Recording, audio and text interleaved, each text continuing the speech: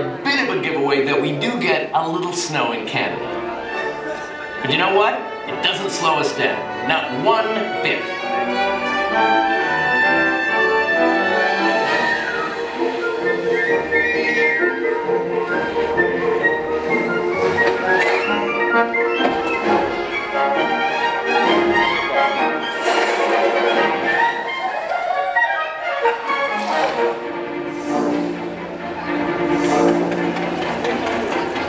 Okay, sometimes I do get a little excited about curling, but who doesn't? Sweet, sweet, sweet, sweet.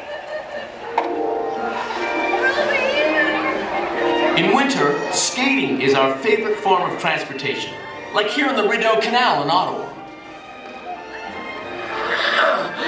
I was practically born on skates.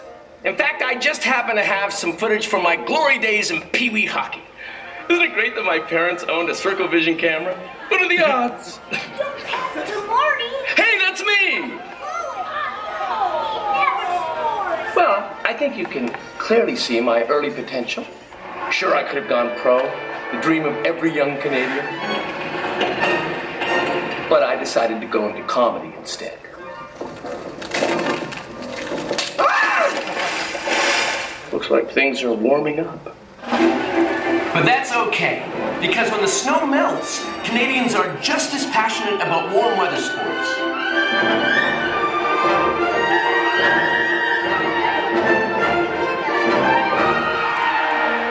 Here in Nova Scotia, our passion is sailing. This is the home of the legendary Bluenose, winner of four international races in her day.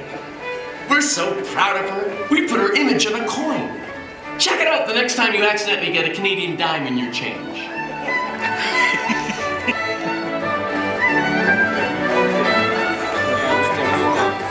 Yes, Canadians do treasure nature and the great outdoors. And with such colorful small towns as Moose Jaw and Medicine Hat, some people might think we're rustic backwoods folks. But in fact, most Canadians live in cities. Come on, I'll show you.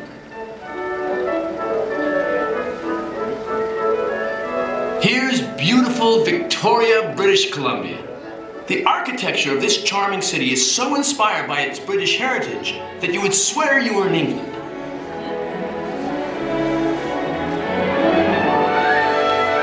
Victoria's nearest neighbor is Vancouver. This diverse cosmopolitan city is nestled between a rainforest, coastal mountains, and the Pacific Ocean. It's also home to Canada's exciting film industry. Now that's talent.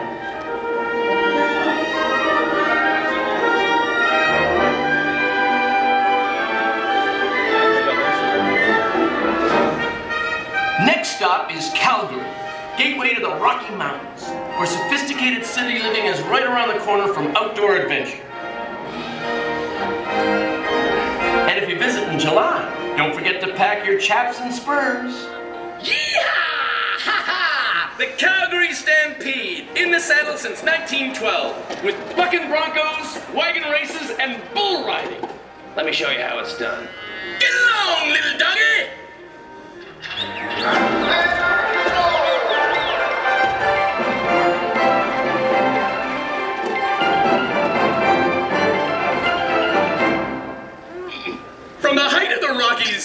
Sophistication, Toronto. This is a truly creative city, filled with theaters, museums, and nightlife. The highlight of the year is the Toronto International Film Festival, where stars and fans from all over the world arrive for premieres and parties. C'est magnifique! Oh, I know, you're probably thinking, hey Marty, what's with the French? Well, it's because now we are in Quebec, the cradle of French civilization in North America. Quebec City is the only walled city in Canada.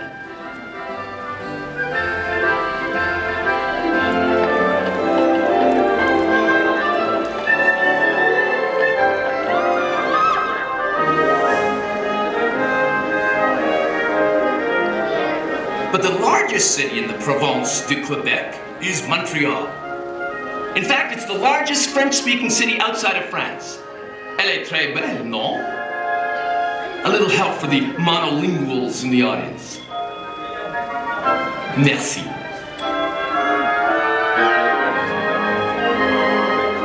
at that.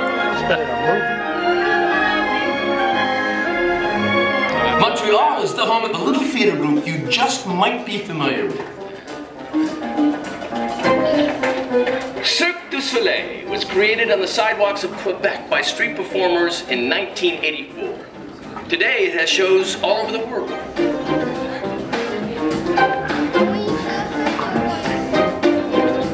And speaking of talented performers, here are a few other Canadians you might recognize.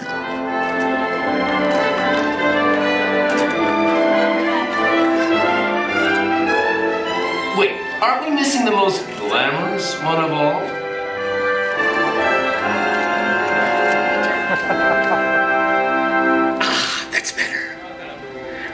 Guess you can say entertainers are Canada's most important export.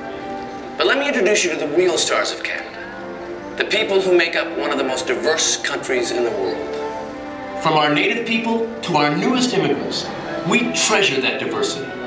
But no matter who we are, we're all proud to be Canadian. This would be a perfect place for a song. I think so, don't you?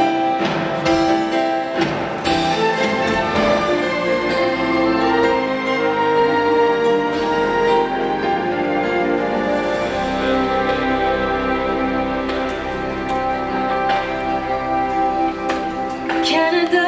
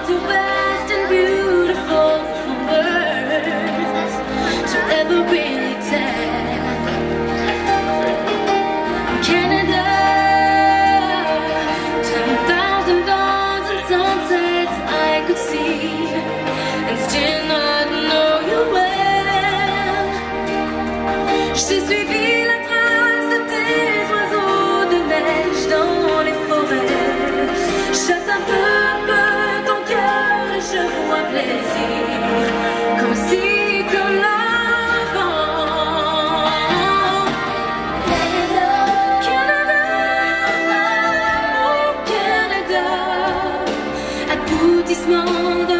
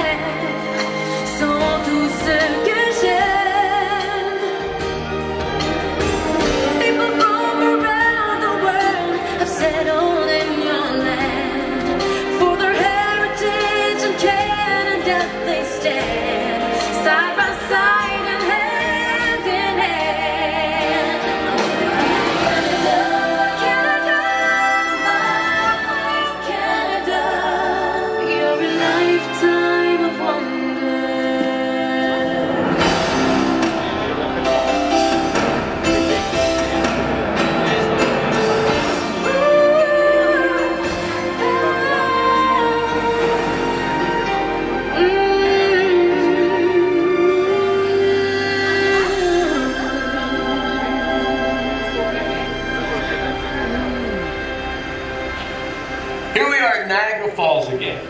We've come full circle, and sadly, our journey has come to an end.